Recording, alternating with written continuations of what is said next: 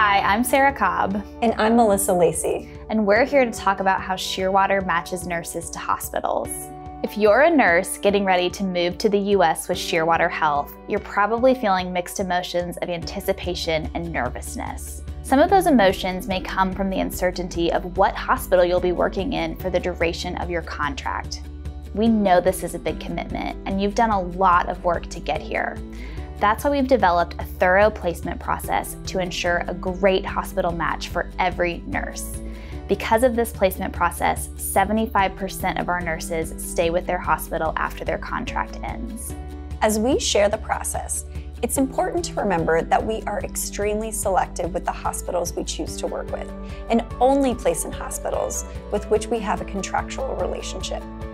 We affirm that each hospital's values align with Shearwater's values, regardless of which hospital you're matched with, so that it will be an excellent and fulfilling work environment for you. Speaking of hospitals, this is where the placement process begins.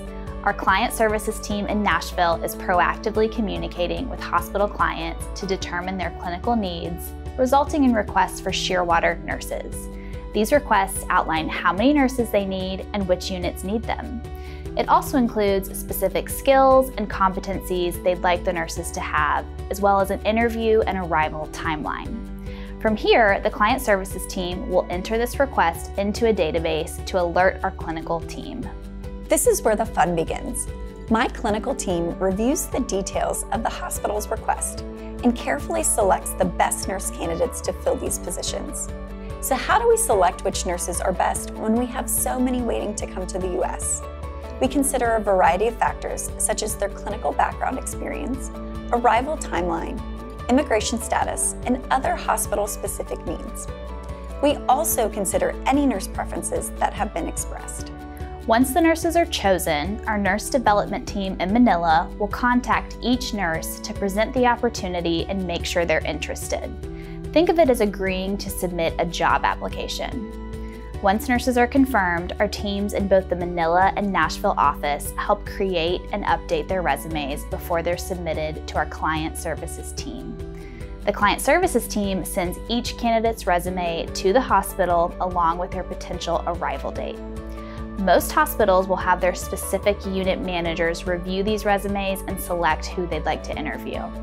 The nurse development team will then prep the selected nurses for their interviews with the hospital. A video interview is scheduled for a time that works best for both the hospital and each nurse. A video interview may seem daunting, but don't worry.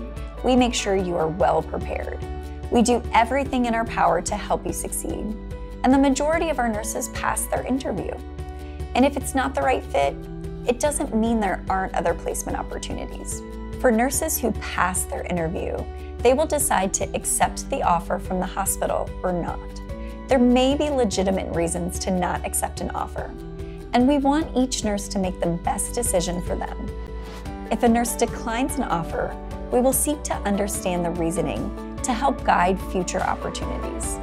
After you've accepted your hospital offer, our immigration team works hard to finish your immigration and credentialing process to prepare you to arrive to the U.S. as quickly as possible. We care deeply about each nurse's experience, and this placement process is one of the ways we ensure you start your U.S. nursing career well. Upon arrival, you are an official employee of Shearwater Health, not the hospital, which means we are there to support you throughout your contract and are proud to have you as a part of the Shearwater Health family.